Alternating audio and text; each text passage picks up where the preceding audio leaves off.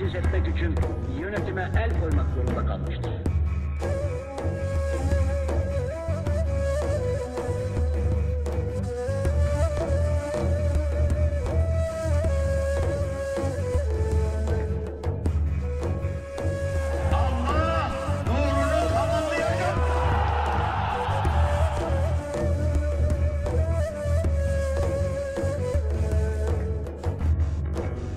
Çiğnerim, çiğnenirim, hakkı tutar kaldırırım. Zalimin hasmıyım ama severim mazlumu.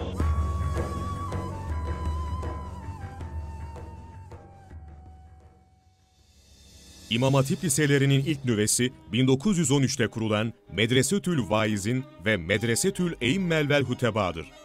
Açılan bu ilk İmam Hatip okulu 1924'te Tevhid-i Tedrisat Kanunu'na dayanarak Marif Vekili Hüseyin Vasıf Çınar tarafından kapatılır. Mart 1924'te Tevhid-i Tedrisat Kanunu'nun 4. maddesinin amir hükmü gereği İmam Hatipler yeniden açılır ve sayıları kısa zamanda 34'e ulaşır. Lakin sevinç kısa sürer. Sayıları 34 olan okullar tek tek kapatılır. Kapatılanlardan bir tanesi de Kütahya İmam Hatip Okulu'dur. Yetersizlik sebebiyle kapatıldığı zaman çekilen fotoğraf, kapatılmanın sebep değil, bahane olduğunun açık göstergesidir.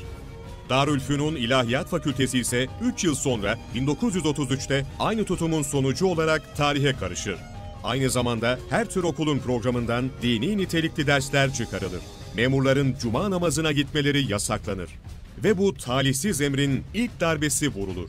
1943 yılında Ahmet Hamdi Akseki tarafından Peygamberimiz Hatemül Enbiya, Hz. Muhammed ve Müslümanlık adıyla kaleme alınan kitap yayınlanır yayınlanmaz İçişleri Bakanlığı tarafından Matbuat Umum Müdürü Vedat Nedim Tör imzalı yazıyla derhal toplatılır. Gerekçe ise biz memlekette dini bir atmosfer yaratılmasına ve gençlik için dini bir zihniyet fideliği vücuda getirilmesine taraftar değiliz. 1940'lar Kur'an öğrenmenin ve öğretmenin yasaklandığı, ezanların Anadolu semalarında Türkçe yankılandığı yıllardır.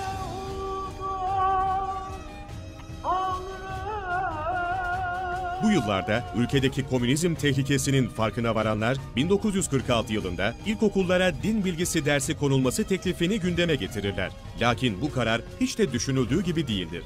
Başbakan Recep Peker, meclis kürsüsünden yaptığı konuşmayla gerçek niyetini ortaya şu cümlelerle koyar. Komünizm tehlikesine karşı dini bir korunma tedbiri olarak düşünmek, bir zehiri bir başka zehirle tedavi etmekten ibarettir. Yani din de bir zehirdir.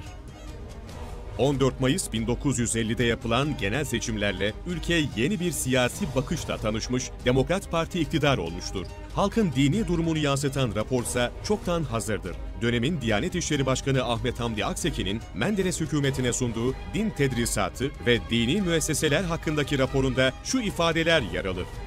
Mihraba geçip namaz kıldırabilecek imam, cenazelerimizin tekvin ve defin işlemlerini yapabilecek görevli dahi bulunamaz hale gelinmiştir. 26 seneden beri çocuklarımız hakiki bir din ve ahlak terbiyesinden mahrum olarak yetişmiş, bu gençler komünist olmamışlarsa bunu ailelerindeki kuvvetli din terbiyesine borçludurlar. Ülkedeki siyasi iklim, imam hatiplerinde yeniden ümitlenmesi için müsaittir artık. Başbakan Adnan Menderes'in talimatı ve Milli Eğitim Bakanı Tevfik İleri'nin onayladığı Müdürler Komisyonu kararıyla İmam Hatip Okulu adıyla 7 yıllık yeni okulların açılmasının kararı alınmıştır. Sıra bu okulların temelini atacak ve bu okullarda okuyacak öğrencilerin arkasında duracak vakıf insanlarına gelmiştir. Yıllarca milli ve manevi değerlerle donanmış bir neslin hayalini kuran Anadolu insanı, ideal gençliğin yetişeceği yuvalar için taşın altına elini çoktan koymuştur. Çok geçmez. Bu hissiyat ve fedakarlık ilk meyvelerini verir. İstanbul Samatya'da 270 öğrenci sayısıyla İstanbul İmam Hatip Okulu açılır. Milli Eğitim Bakanlığı açılan bu okula fizik, kimya, matematik öğretmenlerini atar. Fakat din dersleri için hoca atayamaz.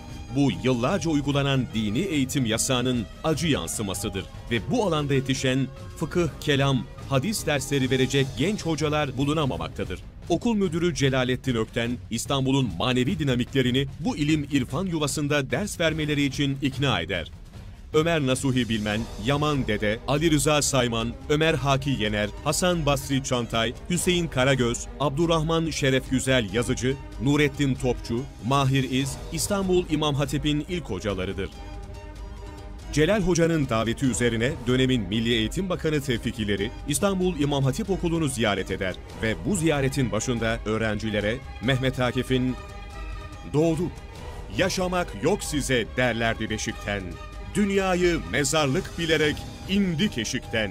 Allah'a dayan, saye sarıl, hikmete ram ol. Yol varsa budur, bilmiyorum başka çıkar yol. Dizelerini okur ve ekler. Arkadaşlar, ben sizlere çok güveniyorum. Çok dikkatli olalım. Bu okulları doğmadan boğmak isteyenler var. Kimdi bunlar? Ve neleri göze almışlardı? Cevap yine başka bir hatırada gizlidir. Tevfikileri kendisinden İmam Hatiplerin sayılarının arttırılmasını rica eden dostlarına şu cevabı verir. Beyler siz ne diyorsunuz? Mevcutların kapatılması için Türkiye'nin bütçesi kadar rüşvet teklif ediyorlar. İmam hatiplerin varlığını hazmedemeyen bürokratlar, siyasi iradenin iyi niyetine rağmen çeşit çeşit zorluklar koyarlar İmam hatip öğrencilerinin önüne. Normal okullarda öğrencilere verilen pasoda mesafe sınırı yokken İmam hatip öğrencisine verilen pasolar öğrencinin oturduğu evle okuduğu okul arasında sınırlandırılmıştır. 27 Mayıs 1960 darbesiyle İmam Hatip okulları için ümitler başka bir bahara ertelenmiştir.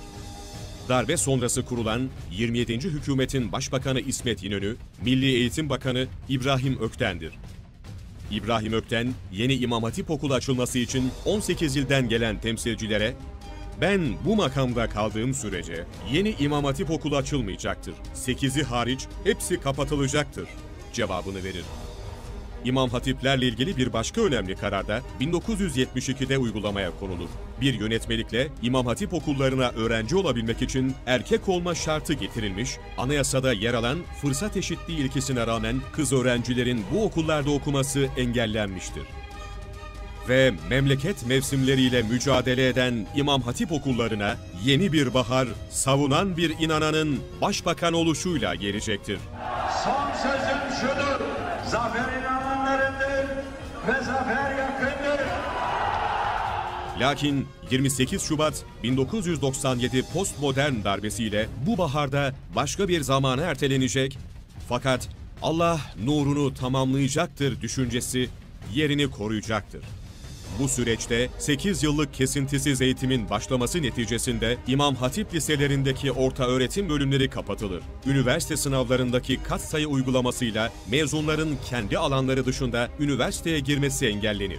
Kur'an kurslarına gidip hafızlık yapmak isteyenlerin de önemli ölçüde önleri kapatılacaktır. Dönemin İstanbul Barosu Başkanı Muammer Aydın, eşitlik ilkesine aykırılık sebebiyle karara karşı çıkanlara eşitlik, eşit insanlar arasında olur yanıtını verir. Bu haksızlıklar karşısında tarihinde belki de ilk kez Cumhuriyet tarihinin gördüğü en büyük kalabalık İmam Hatibime dokunma sloganıyla sokağa çıkıp dönemin koalisyon hükümetiyle yetkililerine uyarır. Akabinde karar sahiplerinin tümü siyaset sahnesinden silinecek, hukuksuz kararları uygulayan bürokratlarsa birer birer yargı önüne çıkıp hesap verecektir. Şubat en kısa aydır. Yani söylendiği gibi bin yıl sürmeyecektir. Tarihler 3 Kasım 2002'yi gösterdiğinde hor görülmüş, haksızlığa uğramış İmam Hatiplilerin gasp edilen haklarını geri verecek ve yaşlı gözlerini silecek eller siyaset sahnesindedir. Zaman nelere gebedir. İmam Hatipli bir başkan dua eder, binlerce İmam Hatipli amin der. Sen bu gençlerin yolunu açık et ya Rabbi.